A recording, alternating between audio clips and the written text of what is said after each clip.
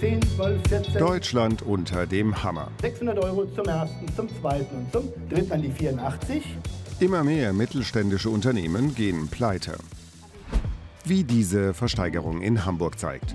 Ein alteingesessenes Küchenstudio musste Insolvenz anmelden. 350 Posten sind gelistet. Einbauküchen, Tiefkühltruhen, Tische, Stühle, Töpfe und Pfannen. Alles hochwertig und jetzt ein Fall für die Resterampe. Jürgen Philippi ist Auktionator. Er sorgt dafür, dass insolvente Firmen durch die Versteigerungen wenigstens einen Teil der Schulden bezahlen können. Zurzeit betreut er viele solche Auktionen. Immer mehr Betriebe müssen aufgeben, oft eine Kettenreaktion, wie der Auktionator erklärt.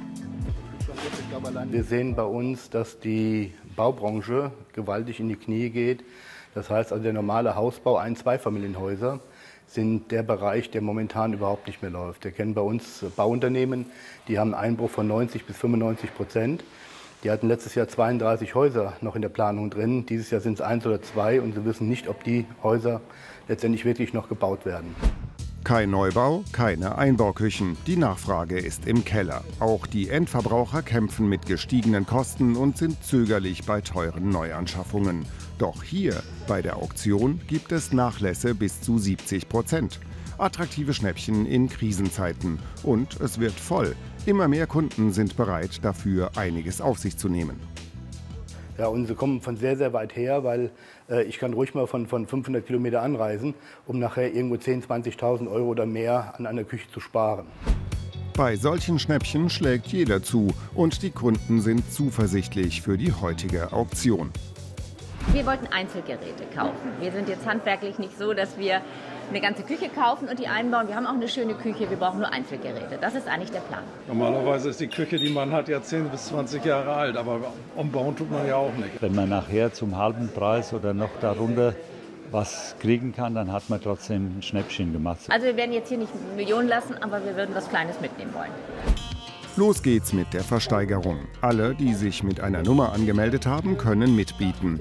Die Interessenten sind so zahlreich, dass die Auktion nach draußen verlegt wird. Jürgen Philippi erklärt, jeder soll bei Interesse seine Nummer so lange hochhalten, bis ihm der Posten zu teuer wird. So bleibt Schritt für Schritt nur noch der Endbieter übrig.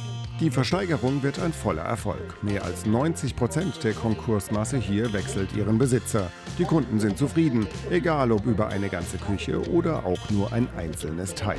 Wir hatten vor, eine Küche zu kaufen, haben eine Küche jetzt gekauft. Wir haben jetzt bezahlt 4.000, knapp 400 Euro und ähm, die hätte wahrscheinlich mehr als das Doppelte, also eher das vier- bis fünffache gekostet. Wir haben ein Limit gesetzt und dieses haben wir auch wirklich einhalten können. Also es ist zweimal genau so ausgegangen, wie wir es uns überlegt hatten. Wir haben bestimmt 20.000 Euro gespart heute.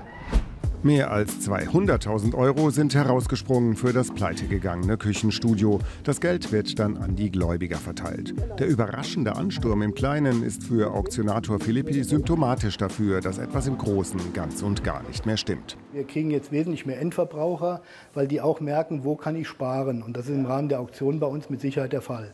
Und dadurch ist dieser extreme Andrang heute gewesen, mit dem wir eigentlich nicht gerechnet hatten, ähm, sind hier, weil überall wird gespart. Das ist, also die Wirtschaft ist nicht besonders gut momentan. Und aus meiner Sicht wird es in den nächsten Monaten noch viel, viel schlimmer werden. Die Kunden tragen derweil ihre Schnäppchen nach Hause. Sie profitieren von den Insolvenzen.